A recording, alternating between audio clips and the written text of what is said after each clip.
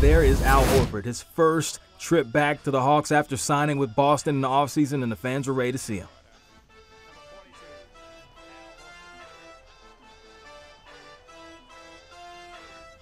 We're going to take things to the second half. And you know, Boston wanted to get the big man involved. There's the pick and roll with the slam. And then Isaiah Thomas with the nice handles. Woo, woo! Finds Horford in the corner who drains the three. Boston up big. But Atlanta don't call the comeback. We've been here for years. In fact, we're in the throwbacks they wore years ago. Mike Dunleavy recently acquired. That is his first bucket as an Atlanta Hawk.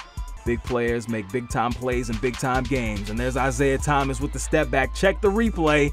Boston secures the victory 103 101.